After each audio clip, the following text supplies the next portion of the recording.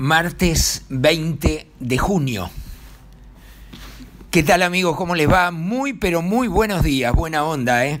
Estoy con pilas nuevas, y la verdad es que estoy muy contento, estoy con buena armonía, con ganas de hacer el programa. Vieron que hay veces que uno dice, pa, tengo que hacer el programa. Hoy tengo ganas de hacer el programa, ¿vio? Desde que me desperté bien tempranito, ya he hecho mucha actividad por suerte. Bueno, para los que no me conocen y reciben por primera vez esta audición, mi nombre es Jorge Bonica, eh, soy el director del semanario El Bocón, que amo, es como un hijo el semanario, hace 21 años que me cansé de participar del periodismo servil, del que tiene límites, de haber trabajado en muchos medios de comunicación en los cuales me tenía que cuidar muchísimo qué era lo que decía y qué era lo que no decía, donde se me imponían límites eh, por razones comerciales, empresariales, de dinero o de simple amistad de los dueños del medio con alguna persona o algún actor público importante, ya sea político o, o de otro rubro.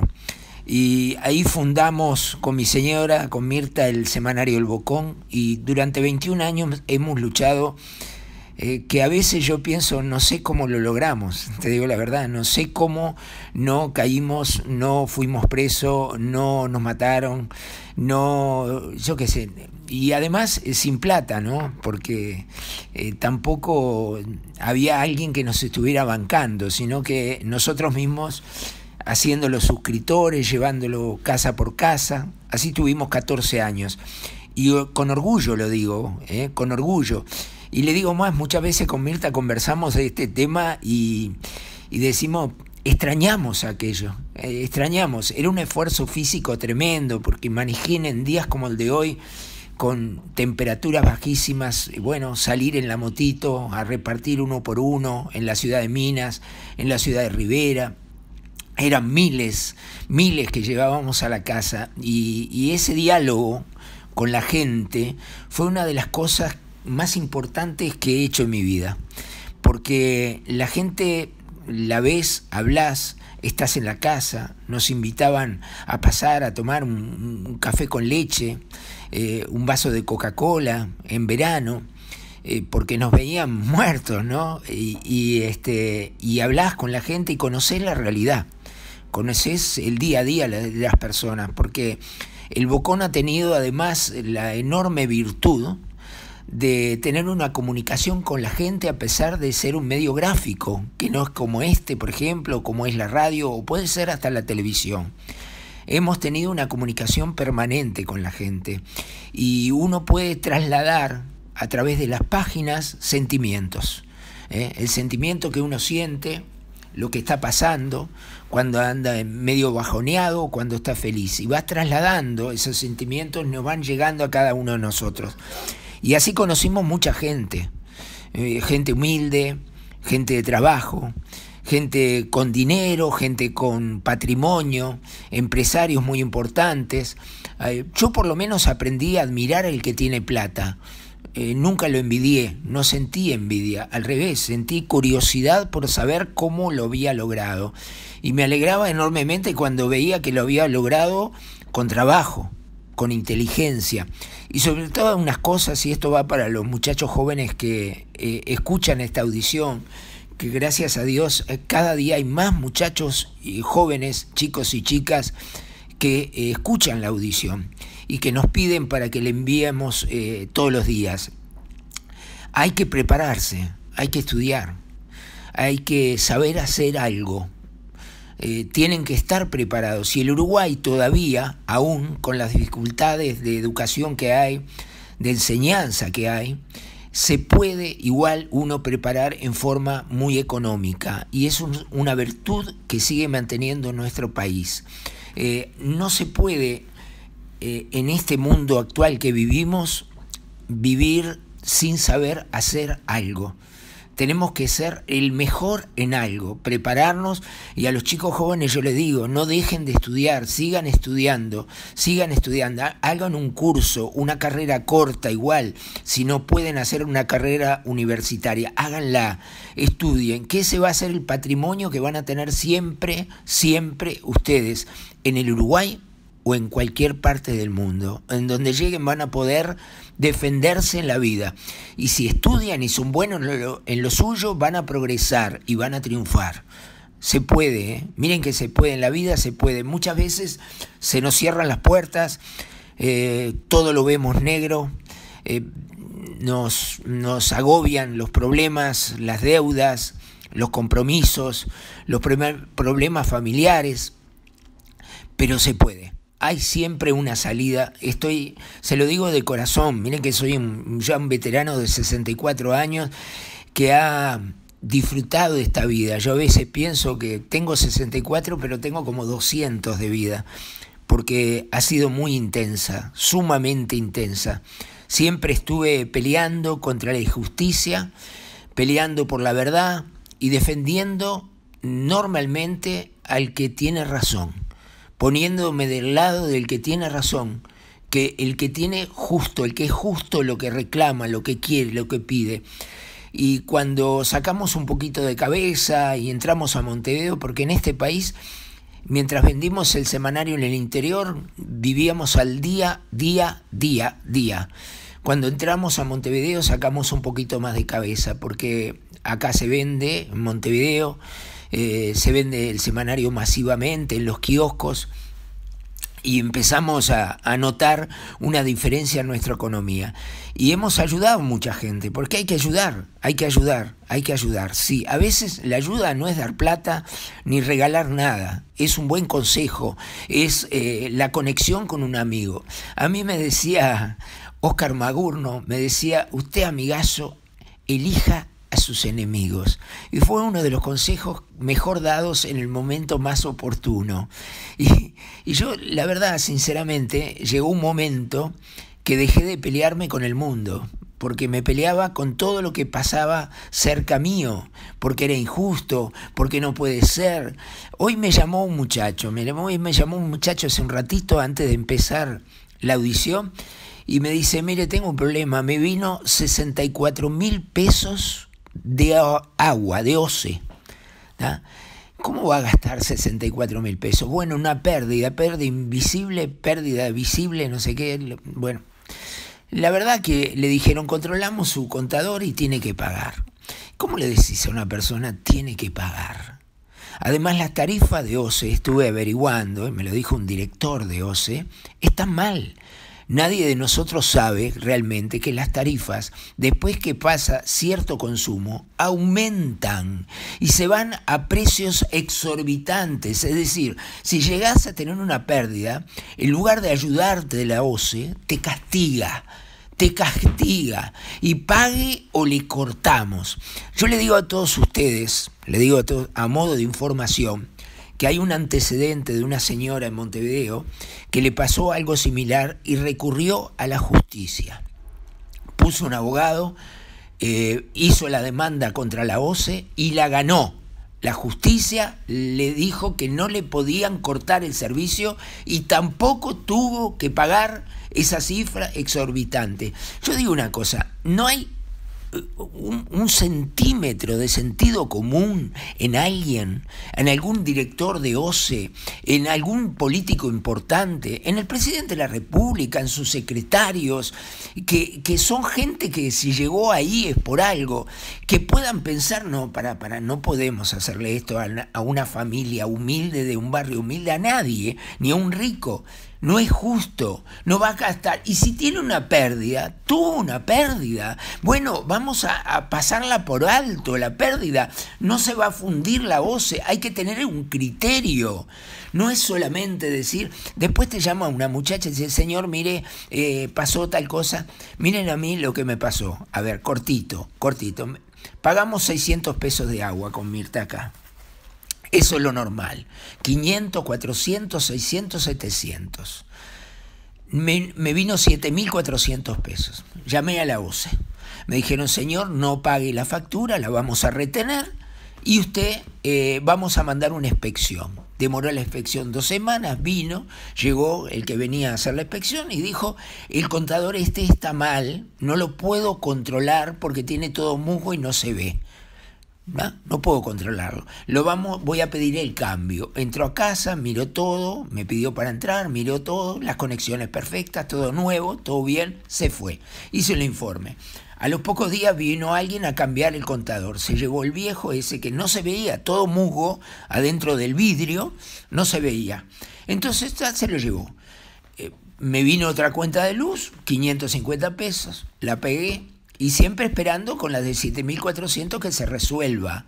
Bien, me llama una señorita, me dice, señor, mire, hemos revisado su contador en la OCE y está bien. Por consiguiente, tiene que pagar. Si usted quiere hacer un convenio, bueno, la mandé a la mierda, la verdad. La mandé no tenía nada que ver la pobre muchacha, pero le dije, decirle al señor Juan Ose que se vaya a la recontra puta madre que lo parió.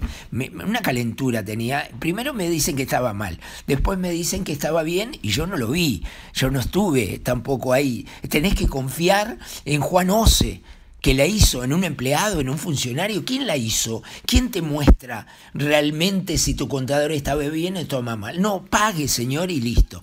Entonces, bueno, ta, se me fue la calentura, Mirta me ayudó que se me fuera la calentura, fui y pagué. Pagué 7.400 pesos, más los 550, pagué. Pues ahora me vino 840 pesos de multa por no pagar en fecha los 7.400. ¿Qué tengo que hacer? Ir a prender fuego la OCE. No jodan, en serio. ¿Qué pasa? Los directores de OCE, ¿quiénes son? No importa los nombres, importa el sistema. Es un político acomodado por alguien que tuvo el poder de acomodar en la repartija inmunda que hace el sistema político permanentemente, colocando gente al santo pedo, porque a mí no me diga que un director de OCE de político que viene de Rivera o que viene de 33 o que viene de Cerro Largo y lo colocan ahí porque es amigo del que tiene que colocar a alguien o porque tuvo 3.000 votos en algún lugar, va a poder ser alguien eficiente como director de OCE. No sabe un carajo, como no saben los directores de ANCAP ni los directores de Antel y nada. Sin embargo, esta clase política que es la que nosotros tenemos que atacar, los tenemos que denunciar, los tenemos que investigar, los tenemos que hacer que sientan que estamos arriba de ellos. Esa es la solución. Tenemos que unirnos, siempre se lo digo, vamos a unirnos y nos estamos uniendo. La verdad, nos estamos uniendo porque todos, una gran mayoría de uruguayos, pensamos igual sentimos lo mismo, sentimos la misma angustia. ¿Qué va a hacer? ¿Qué hace el director? ¿Saben qué hace? Empieza a acomodar gente de su partido político. Lleva de secretario del directorio a ediles, eh, si son colorado, colorado, son blanco, blanco, y se están del frente, de frente, porque los tres son la misma mierda. Utilizan el mismo sistema de siempre. Esto no lo quieren cambiar porque ellos utilizan esos lugares para hacer la peor política barata, inmunda que han hecho toda la vida, sin importarles un carajo la gente, sin importarles nada cómo sufre la gente, cómo no llega a fin de mes, como yo me gustaría que un director de estos, hijos de mil puta, un director de esto, un día le llega la factura por 64 palos, como le llegó a este muchacho que me llamó ahora, a ver si la paga. ¿Quién la va a pagar? La arreglan, la arreglan, como arreglan las multas en la intendencia, porque paga el que el, el gil, el que no tiene un padrino, el que no tiene un amigo, el que no tiene un político amigo, el que no es amigo de un inspector, el que no es amigo, es joda. Y tenemos que parar con la santa joda de este país que la han legalizado los políticos. Hemos vivido en la joda y siempre los giles pagamos. Los nabos pagamos. La gilada, como decía Julio María Sanguinetti, nosotros éramos y somos la gilada. Y la gilada tiene que decir basta. Tenemos que unirnos y nos estamos uniendo. Los invito a todos a ayudarme a unirse. Nos tenemos que unir. Si nosotros somos muchos y estamos en todo el país, le vamos a poder poner la pata arriba. Y le vamos a decir, señores, no jodan más, esto se terminó, basta de recreo. No acomodar más gente. Fíjense en ustedes, en la OCE, ahora acomodado, está un señor que se llama Rizo, el Toto Rizo, conocido personaje de la ciudad de Minas, un chanta de cuarta, un tipo que ha dedicado su vida a mentirle a la gente, a pedirle el voto, a, a, cambiar esto por lo otro. Este tipo, Colorado, ahora es secretario del directorio de OCE. Pero estamos todos locos. ¿Quién lo puso? ¿Cómo se ganó ese lugar? ¿Eh? ¿De qué forma? Estuvo a comisión toda su vida. Es trabajador de OCE. Trabajador. Lo acomodó el diputado Gustavo Amén Baghetti cuando tenía poder con Sanguinetti y era diputado de La Valleja, le consiguió un trabajo en la OCE. Con una tarjeta de Sanguinetti entró a trabajar en la OCE y entró a la cuadrilla que no trabajó un solo día, al otro día pasó la administración y después empezó a estar en comisión. La famosa estafa que los políticos y el sistema político nos hacen. Sacar a comisión a personas para que no trabajen y trabajen haciendo política, si es que le podemos llamar un trabajo. Entonces teníamos al Toto Rizo, que es un ejemplo. Mire que hay cientos de estos en todo el país. Se repiten los Toto Rizos en todo el país y tenemos que terminar con los Toto Rizos.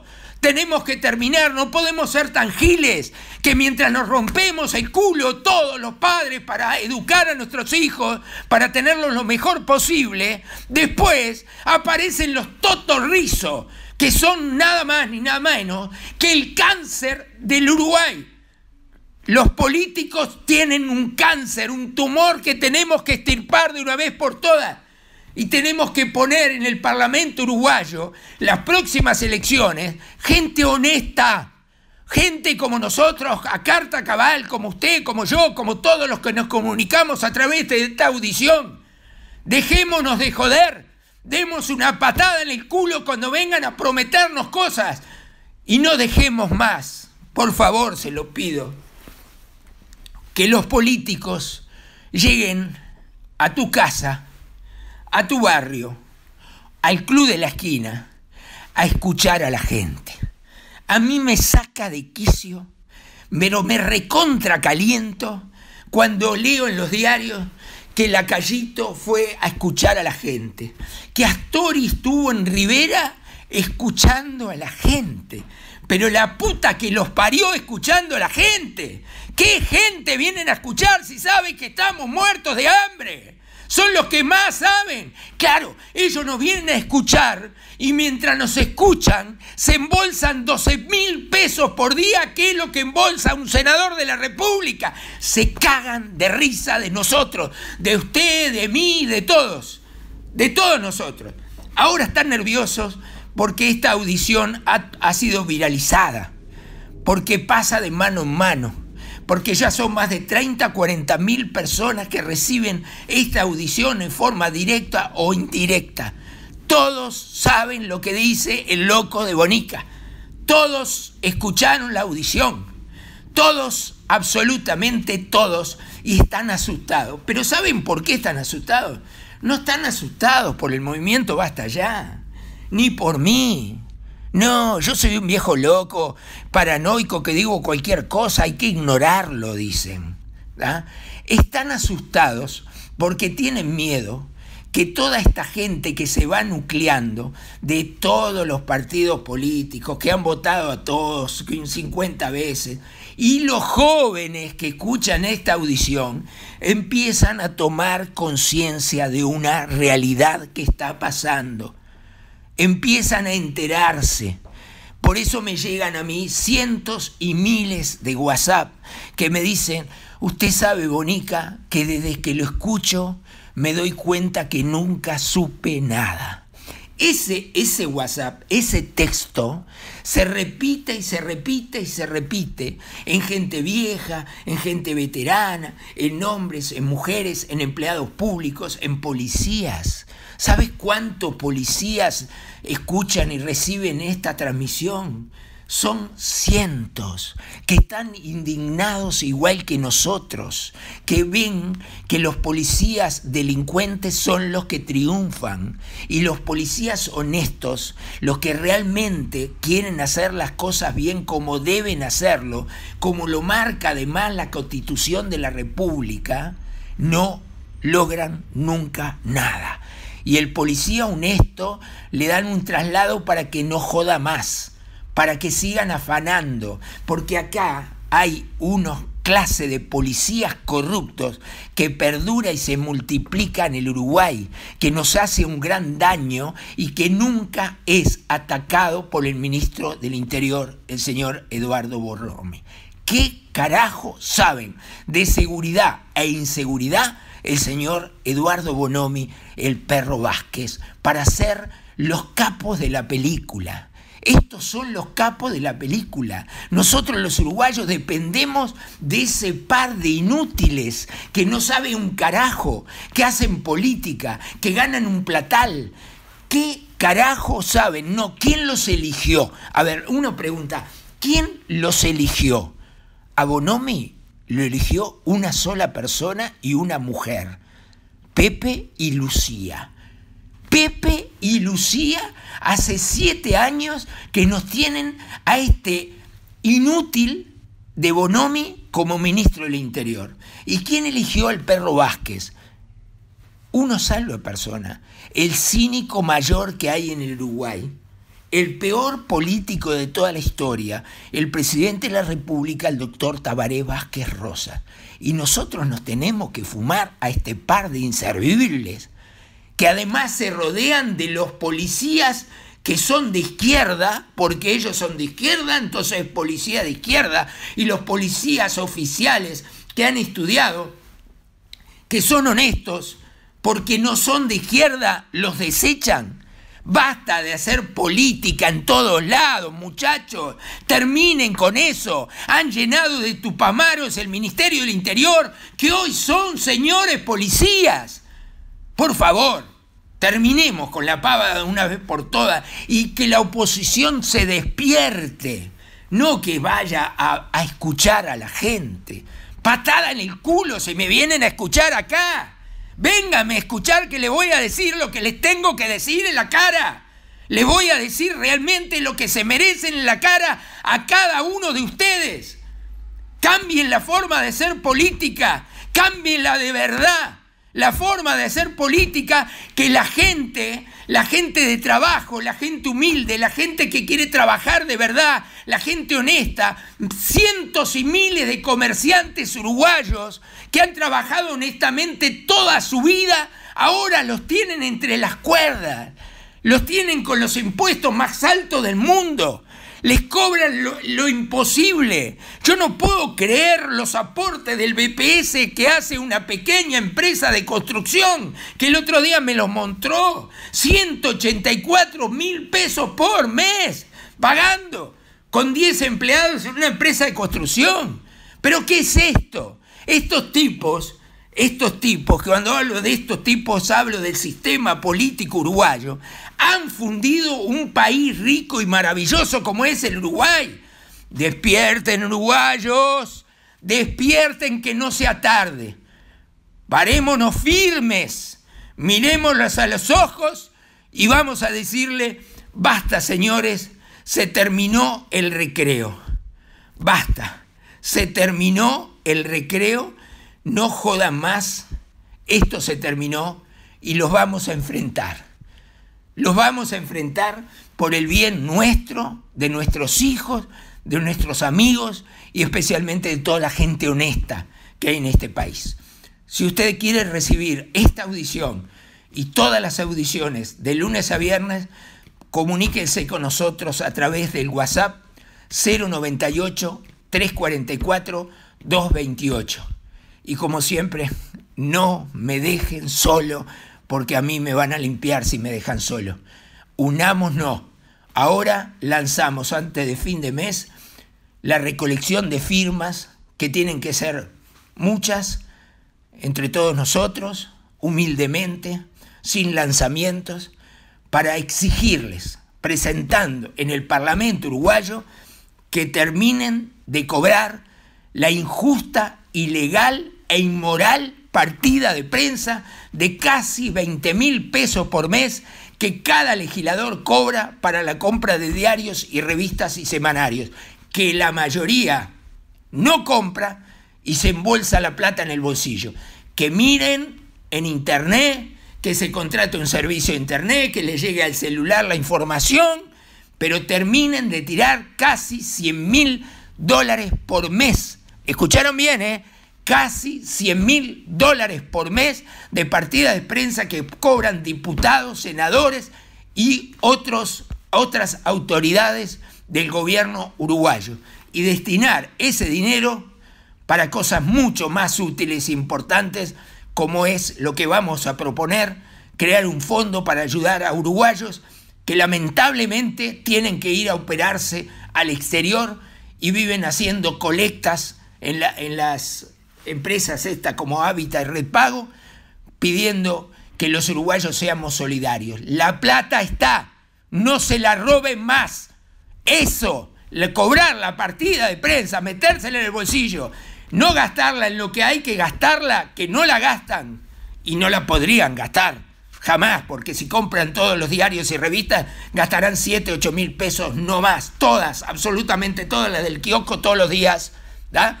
Nos están robando la plata y otros la están gastando en otra cosa que no es lo que deben hacer. Y les recuerdo que gastar una partida de prensa que está destinada a ciertos elementos en otra cosa es un delito. Y ese delito se llama abuso de funciones. Abuso de funciones. Y estamos dispuestos, si no se elimina la partida de prensa, a empezar a denunciar masivamente a los legisladores uruguayos por abuso de funciones al gastar la partida de prensa en otra cosa que no sea lo que realmente está destinado. Y tenemos pruebas contundentes, dicho por la misma palabra de los señores legisladores, que la gastan en otra cosa. Nos reencontramos mañana, gracias por todo, gracias por aguantarme. Hoy estaba con ganas y me saqué las ganas. Pero sigo luchando. Comuníquense, vamos a unirnos, súmense al movimiento Basta Ya, adhiéranse con un WhatsApp, les reitero, al 098 344 228. Que pasen bien, hasta mañana.